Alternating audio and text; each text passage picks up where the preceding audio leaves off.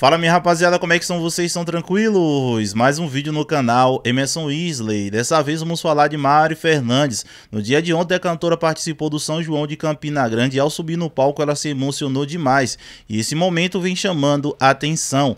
Mas antes de eu conteúdo, eu gostaria de deixar aqui para vocês um trechinho da nova música de trabalho do cantor Leone Ferraz, que é a música Jogo Rabetão. Ele lançou essa música cerca de dois meses atrás e só agora ela começou a viralizar nas redes sociais. Só para vocês terem noção, nesse último mês a música chegou à marca de quase 200 mil views. Eu vou deixar um trechinho dela aqui para vocês darem uma observada. Fazendo a rodinha, ela bota pressão. Olha o que ela faz quando liga o paredão. E ela gosta do grave do paredão. Joga o rabetão, joga o rabetão. E ela gosta do grave do paredão. Joga o rabetão, joga o rabetão.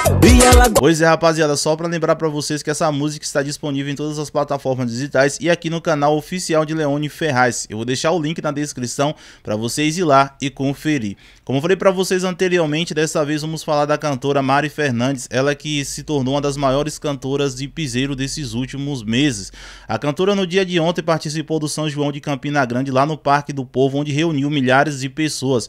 E uma das coisas que vem chamando a atenção foi na hora que ela foi subir no palco, onde ela se emocionou de demais ao ver milhares de pessoas cantando suas músicas. Na minha opinião, Mari Fernandes nesse momento se tornou a maior cantora de piseiro aí nesses últimos dois meses. É mais que nítido, é só nós observarmos aí o seu DVD que tem milhões de visualizações e os seus últimos shows que ela vem fazendo aí no São João, reunindo milhares de pessoas. Enfim, eu vou mostrar para vocês esse momento aí muito emocionante para posteriormente nós falarmos mais um pouco sobre esse assunto. Maior São João do mundo, em noite histórica, apresenta